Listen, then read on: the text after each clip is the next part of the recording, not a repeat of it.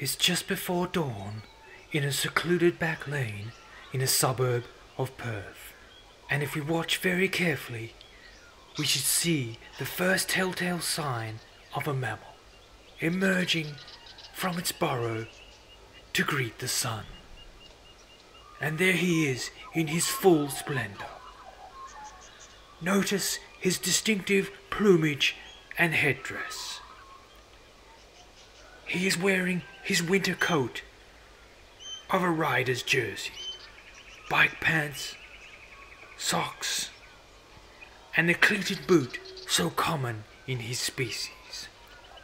Casting our gaze upwards, we see the helmet that is typical of this species. This particular MAMIL is getting ready for his yearly migration to a small town in Western Australia called Mandurah, where each year hundreds of MAMILs descend for one night of convocation, culture, and camaraderie. Join me in following his preparation as we spend a day with the MAMILs.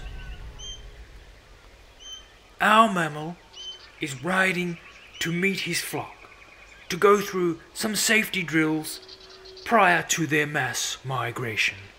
They must stay particularly vigilant of man made perils, such as these, these, and these.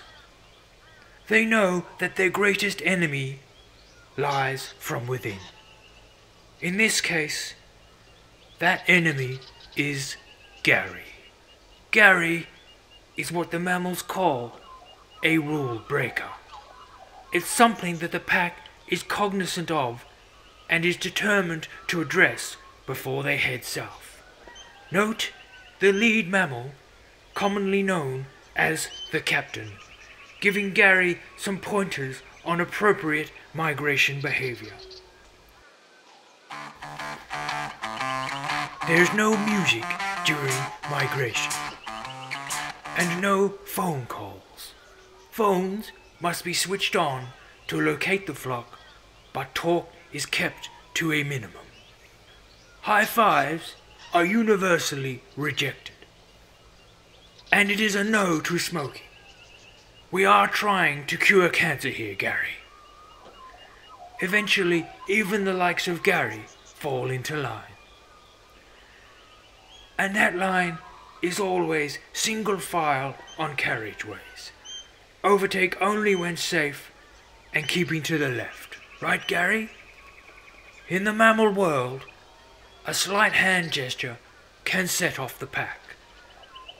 Watch as the safety inspector demonstrates to the pack.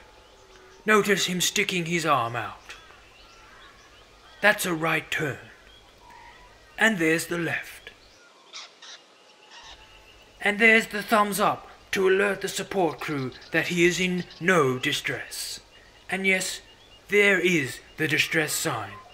The thumb is down, the arm extended. This means warning in the MAMIL world. It alerts others that he needs assistance.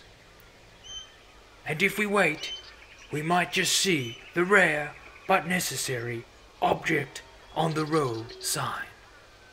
This one is quickly disseminated through the pack. And there it is, magnificent. Later in the day, we stumble across the flock at rest by the side of the road. This man made watering hole is designed to allow the MAMIL to hydrate, to refuel, and refresh. Stretching is also important. Thanks, Gary.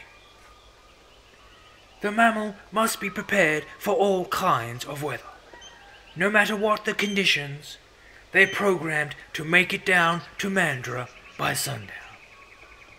Better to be prepared and practiced. It's the end of a fruitful day for the MAMIL. Soon this flock will be ready for their annual migration. They will suit up in their matching plumage, clip on, don their protective headdress, and head out into the great beyond, safe in the knowledge that they are ready to join their fellow MAMILs to help beat cancer as part of the MACA Cancer 200. And they will do it together. No member of the flock is ever left behind. Even Gary.